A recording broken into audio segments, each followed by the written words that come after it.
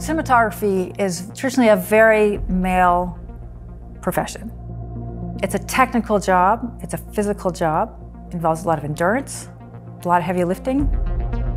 These are things as, certainly in Western society, we have not thought that women were good at. When I declared to my family that I wanted to become a cinematographer, um, it was a red flag. Everybody said like, my God, it's a man's world, you won't have a chance.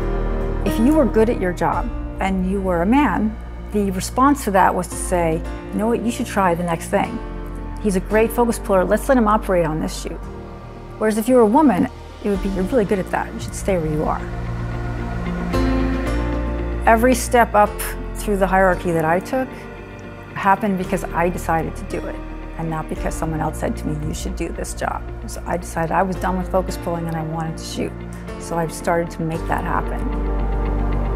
In the diverse situation that I am uh, shooting, I need to have a camera that allows me to use the sensor like my canvas to express my cinematic artistry on.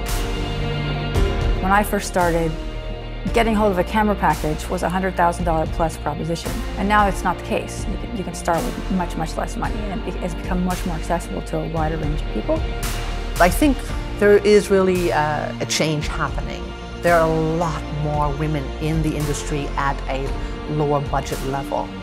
At that level, it appears to be more supportive for women who are trying to make you know, it a career. I think women in the film industry have to work twice as hard as uh, any man does because you know you're still working against uh, that stigma of can a woman do it. In order to break that stigma um, we just need to see more women in leading roles and we need to see more women being celebrated not on the small level on big events like oscar kind of events where women are rewarded for their efforts